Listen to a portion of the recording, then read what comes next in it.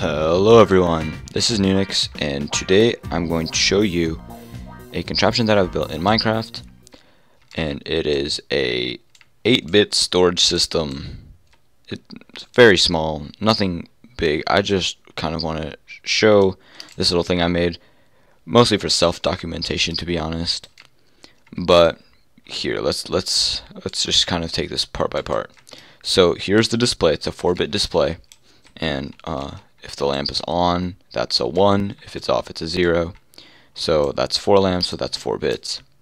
And then what I have here is two slots, um, each with 4 bits of data in them. So pretty much the same thing here, but there's two of them. And the way this works is that you can pretty much save information on here and then display it later here on this display. So let me just quickly reset the data here on both slots. Um, and this whole build is very wonky. Uh, definitely not the most compact it can be. Uh, a lot of it is actually just trial and error. It could be smaller. But here. So this is slot 1.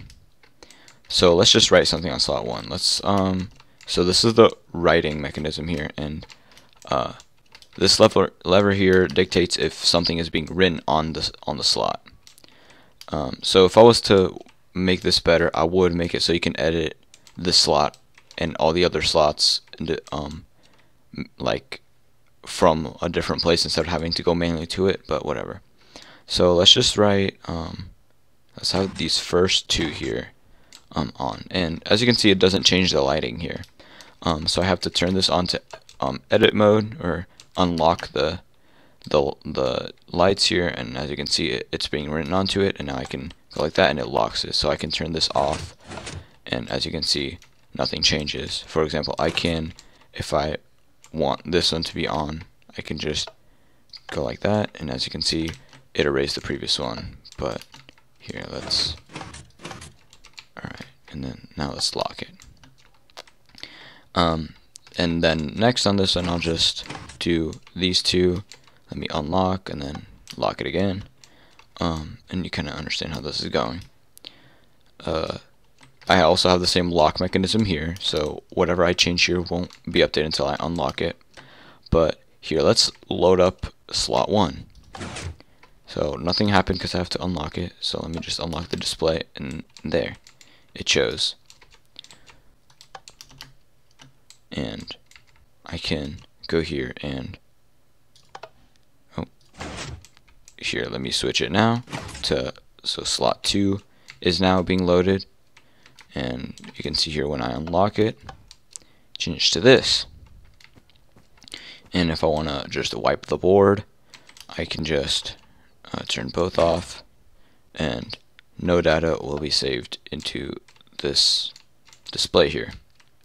Um, technically you can add the data although it's not really adding bits or anything. It's literally just the lights are added together in a way, if you understand. So as you can see, they just kind of add here, but it's really not um, true addition of, of binary or anything. Uh, so just keeping that in mind. And here. So I kind of like the the concept of this because it seems like it's uh, ex infinitely expandable. Uh, I'm probably going to rebuild this and make this instead of 4 bits 8 bits to represent a byte. And here it'll also be 8 bits. Um, and I'll probably make 4 times these so 8 total so that um, I can store 60 or 64 bits or 8 bytes of data and have it display on an 8 bit display here that I'm going to um, increment basically. But as you can see, uh, each each little module here or slot is separated by this guy here, by these repeaters, so it's expandable like that. And kind of the way it works is, um, this machine here is a bit uh, cluttered, so I'm not going to talk about it. But it uses locked repeaters to to kind of know when to lock and unlock the, display. And here it saves and, and or it displays the data or not by using pistons to block off a redstone signal. So as you can see here, these two signals can go through, but once I uh, lock it, they won't be able to go through here. And then they just kind of go to their respective uh, line here, as you can see, kind of creating a diagonal here. And that's pretty much all there is to it. You can expand this more easily. So yeah, just wanted to show this. Maybe in a, I'll make another video if I ever expand this and, and make it better. Thank you so much for watching.